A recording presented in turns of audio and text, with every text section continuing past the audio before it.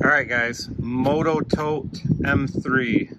Just got it put together. I'm gonna try to do a quick video on this, kind of uh, go over some of the features of it and why I ended up buying it. So I guess the reason why I ended up buying it, my old one, my stabilizer bracket was, I was about ready to purchase my third stabilizer bracket I've had, that's the AMC Black Widow 400. I've had that thing for seven years and I was about to order my third stabilizer bracket, but I started looking at the carrier itself and all the uh, just hardware on it is, uh, you know, rusty and it's just, it was time to upgrade. Like I said, I've had it for seven years and I've had my eye on this one for a few years, but never you know, had a reason to upgrade until now. So anyways, this is the Moto M3. It has a 500 pound capacity. Uh, this was steel and aluminum. This is all steel. Quite a bit heavier of a unit for sure. And try to get in close here. I don't know if you can see how it's textured. This whole thing is powder coated. So I'm hoping, you know, obviously when you go dirt biking, you're going down a lot of dirt roads, gravel roads, so hopefully that powder coat stands up to the test of time, which uh, pretty sure it will because I know a few people that have these, but quite an expensive unit, but I expect to have it for a long time. Like I said, my old one, seven years, hopefully I get at least that or more. Um, couple questions I know I might get is uh, why don't you just put the dirt bike in the back of your truck? The reason I don't, I could obviously, but the reason I don't is because I got a tonneau cover. I always like to keep all my gear and everything in the back of my truck, you know, out of the rain. So anyways, I just prefer a hitch carrier, like I just said. Um, just that way my gear is in the back of the truck out of the rain out of the elements. That tonneau cover and my tailgate is lockable too. So I do have a nice trailer that's set up for three bikes but usually it's just me going somewhere by myself so or meeting people so the dirt bike carrier is just a little bit easier but. So one of the things I really like about this carrier already is the way that you can stow the ramp. So Comes with a lanyard with this cotter pin. This is not easy to do one-handed, but put it through here like so, clamp it down, and then you got this little thing, this little tail that it's just not going anywhere. So that one had, uh, you could stow the ramp. I think it was in front or the back, but nowhere near as good a setup as this one. So got the wheel chock and I already kind of obviously put my bike on here and it's a lot easier to load by yourself because of the wheel chock. So the the bike actually stands up by itself so you can get your straps kind of set up. Obviously you want your straps set up before you load it but if you didn't they'll actually stand up straight with that wheel chock which is nice um, you got your two points for your tie down right here for your straps to hook in. And then what I like is the back right here. My old one didn't have this, but it comes with tie down points in the back.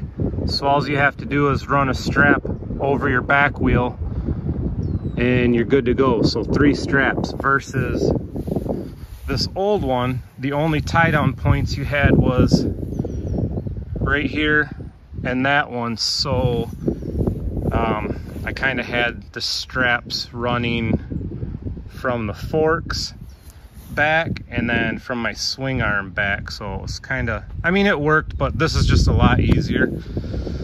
So and it seems like it's a lot more sturdier so I'm gonna demonstrate and uh, I'll go get my bike and show you how it's done. I'm gonna set up my straps first and then give you guys a quick demo Okay guys, another thing I almost forgot. So instead of a stabilizer bracket, like a lot of the other hitch stabilizer hitch carriers have, this comes with your pin and this is a new design and you put these in here and this part recesses in and that's your stabilizer and it works really really well um, when they first came out with this hitch carrier the the design was a little bit different but they have since upgraded to this so works very well.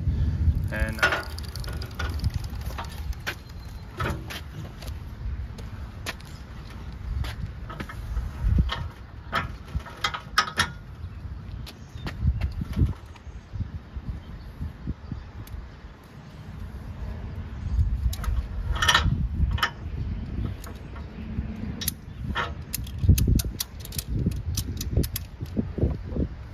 strap on just a little bit so don't fall. I always keep my hand on the bike even though it's sitting in the wheel chock somewhat stable. I just kind of keep my forearm on the front fender just because.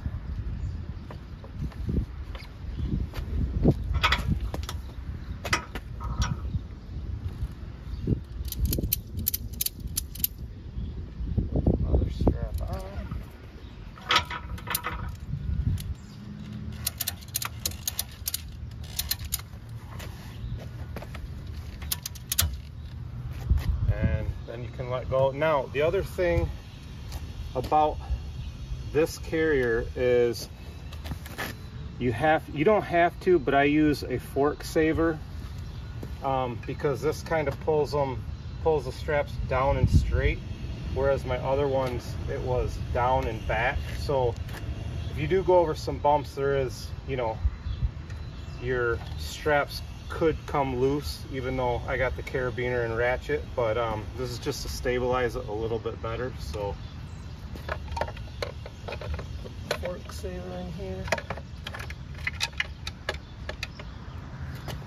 And ratchet her down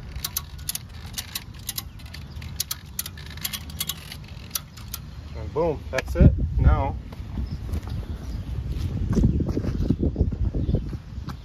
Just put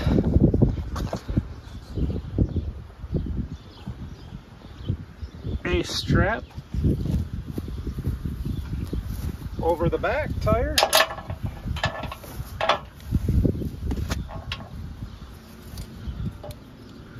And you're good to go.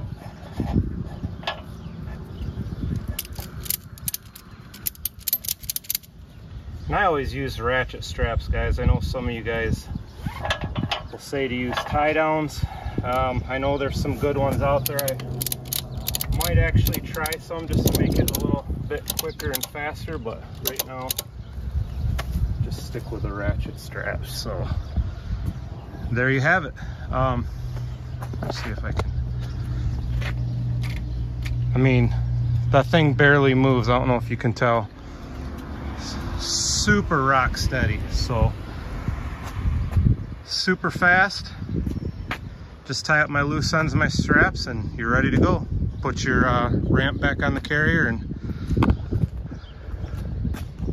in my opinion you know hitch carriers are the way to go. Unless you got multiple bikes then obviously you got to bring your trailer. But I don't always feel like lugging the trailer around you know.